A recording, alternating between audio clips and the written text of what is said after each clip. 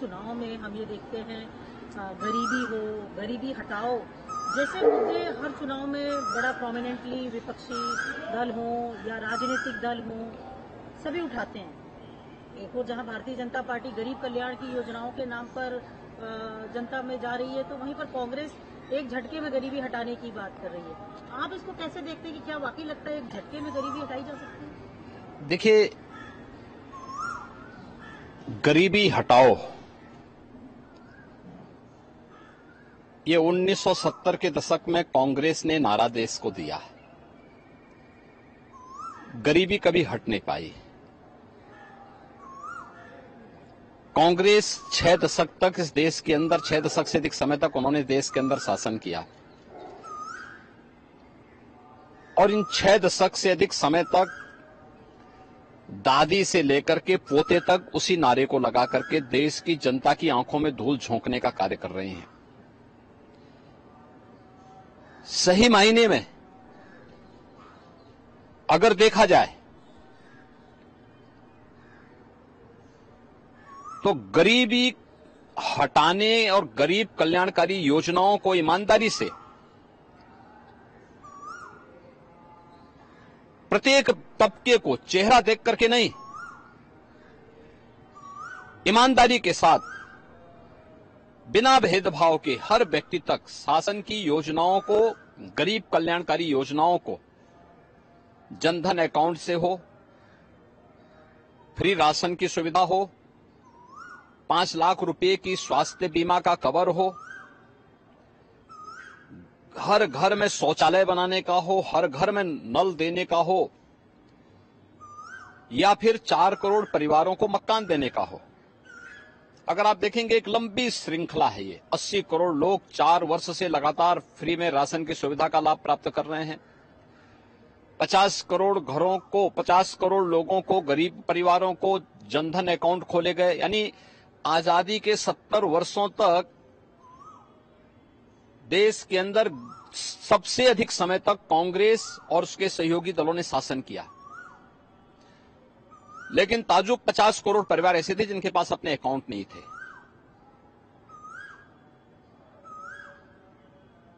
चार करोड़ से अधिक परिवार ऐसे थे जिनके पास अपना आवास नहीं था।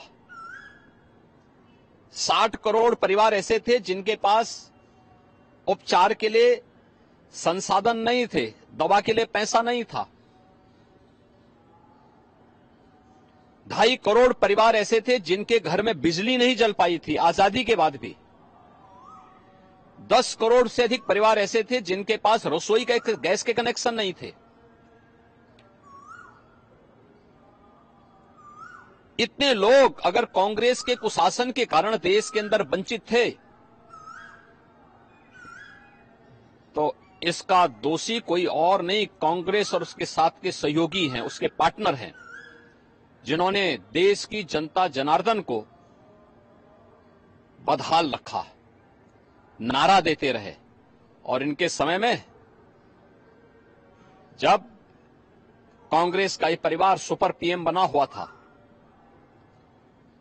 डॉक्टर मनमोहन सिंह जी देश के प्रधानमंत्री थे।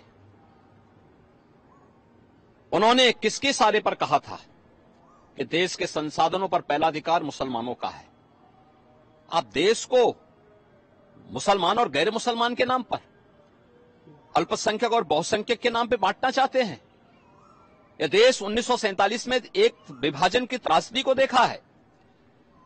और तो इस देश को आभार व्यक्त करना चाहिए प्रधानमंत्री मोदी जी का, जिनके कारण पिछले 10 वर्ष में 25 करोड़ लोग गरीबी रेखा से उभरे हैं, खुशहाल जीवन जी रहे हैं। 80 करोड़ लोगों को फ्री में राशन की सुविधा का लाभ प्राप्त हो रहा है।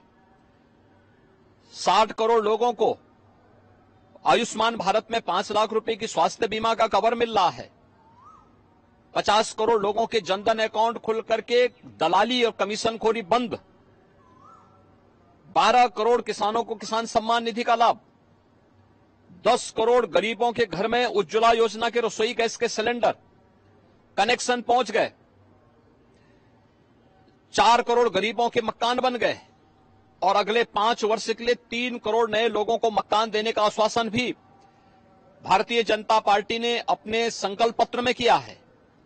ढाई करोड़ परिवारों ने, जिन्होंने कभी बिजली नहीं देखी थी, उनके घरों में बिजली पहुँच गई।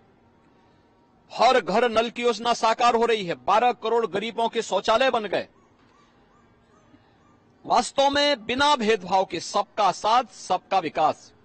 सबका विश्वास और सबका प्रयास। कभी मोदी जी ने यह नहीं कहा कि मैंने किया। उन्होंने कहा तो सबका विश्वास है और सबका प्रयास है। आज भी मोदी जी अपने चुनाव भाषण में इस बात को कहते हैं, जो सब कुछ मिला है, इसका श्रेय मुझे नहीं। जनता जनार्दन को है, क्योंकि जनता जनार्दन ने अपने लोकतांत्रिक अधिकार की कीमत को समझा, अपने वोट को सही जगह दिया तो उसका लाभ सही तरीके से मिल रहा है। लेकिन कांग्रेस, समाजवादी पार्टी और इंडी गठबंधन विभाजनकारी राजनीति करके देश के साथ धोखा कर रहा है, गद्दारी कर रहा है। इनको जब भी अवसर मिला, इन्होंने राष्ट्रीय हितों की अपूर्णीय क्षति की है और गरीब कल्याणकारी योजनाओं में डकैती डालने का काम किया है। कौन नहीं जानता, समाजवादी पार्टी की सरकार के समय उत्तर प्रदेश के अंदर खाद्यान्न घोटाले हुए थे। दर्जन भर जिलों में आज भी सीबीआई इंक्वायरी चल रही है। इनसे जुड़े हुए लोग गरीबों का राशन हड़प कर जाते थे। जब 2017 में मुझे प्रदेश में मुख्यमंत्री के रूप में दायित्व मिला था, इस दौरान मैंने स्वयं जब इस बात की जाँच कराई थी 30 लाख फेक राशन कार्ड पाए गए थे और ये फेक राशन कार्ड के नाम पे राशन निकलता था। राशन की सुविधा गरीब को नहीं मिलती थी, समाजवादी पार्टी के पदाधिकारी को मिलती थी। या उनके द्वारा प्रश्रय प्राप्त माफिया, ये सभी राशन हड़प जाते थे। आज मैं कह सकता हूँ कि प्रधानमंत्री मोदी जी के कारण ई पॉस मशीन अस्सी हज़ार से अधिक राशन कोटे की दुकान में लग गई। डोर स्टेप डिलीवरी हो रही। वन स्टेप डिलीवरी के माध्यम से एफसीआई गोदाम से सीधे कोटेदार के दुकान में जीपीएस मैपिंग के माध्यम से खाद्यान्न पहुँच रहा है और वहाँ से गरीब को सभी को ई वेइंग के माध्यम से एक एक उसकी मॉनिटरिंग होती है। सही मायने में कहा जाए तो आज़ादी के बाद ये जो रिफॉर्म किया है, पहली बार देश के अंदर पॉलिटिक्स ऑफ़ परफॉर्मेंस ये मोदी जी के कारण आया है और इसका सर्वाधिक लाभ गरीब को मिला है, किसान को मिला है, महिलाओं को मिला है, युवाओं को मिला है।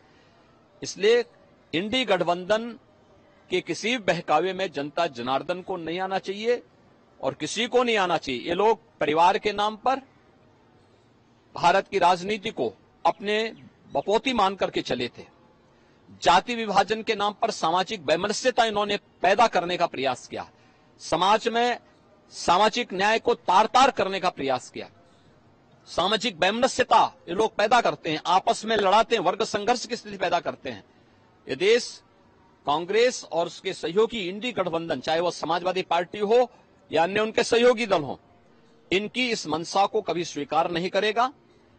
लोकसभा के प्रवर्तमान अभियान के दौरान जो चुनाव की प्रचार की प्रक्रिया चल रही है, पहले चरण के चुनाव संपन्न हुए हैं और मेरा अनुमान है कि अगले छह चरणों में जो परिणाम आने वाले हैं, या भी प्रधानमंत्री मोदी जी के नाम से, उनके काम से जनता जनार्दन का आशीर्वाद भारतीय जनता पार्टी को प्राप्त होगा। कोई संदेह इसमें नहीं होना चाहिए और हम पूरे विश्वास के साथ जनता जनार्दन के आशीर्वाद से प्रधानमंत्री मोदी जी फिर एक बार मोदी सरकार के लक्ष्य को और अब की बार 400 के लक्ष्य को प्राप्त करने में हम लोग सफल होंगे हास्यास्पद है कि जो लोग इतने समय बाद अब देखिए, यह यह एक बहुत खतरनाक प्रवृत्ति है। ये लोग गरीबी तो नहीं हटा पाए, लेकिन जिन्होंने अपनी मेहनत से, जिन्होंने अपनी मेहनत से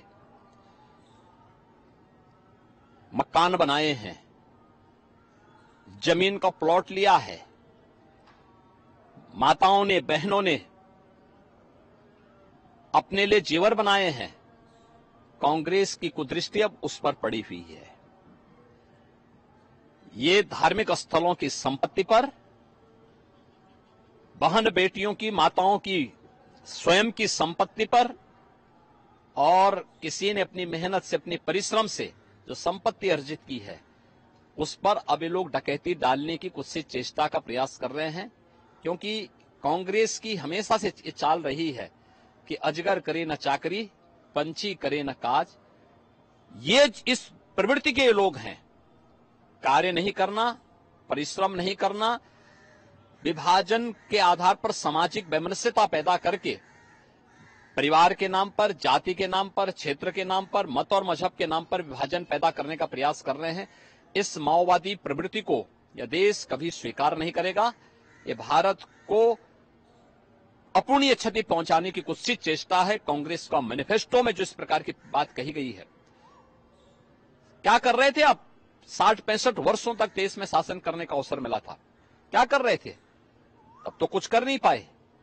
गरीबी से तब तो देशवासियों को उभार नहीं पाए। 2004 से 2014 के बीच में भी कांग्रेस के प्रधानमंत्री थे। कांग्रेस पार्टी के प्रधानमंत्री थे।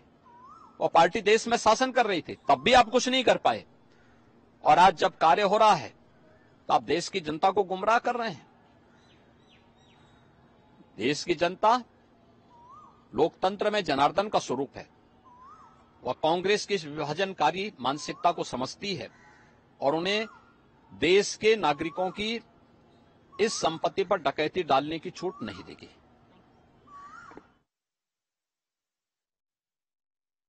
तो गोरखपुर से मुख्यमंत्री योगी आदित्यनाथ को आप सुन रहे थे, जिन्होंने कांग्रेस की तमाम नीतियों को लेकर उन्होंने निशाना साधा है और विपक्ष की तरफ़ से जो बयानबाजी की जा रही है, उस पर भी उन्होंने पलटवार किया है। तो सीएम का कांग्रेस पर हमला, गरीबों को जुला योजना का लाभ मिला है और प्रधानमंत्री मोदी की नीतियों से हर तबका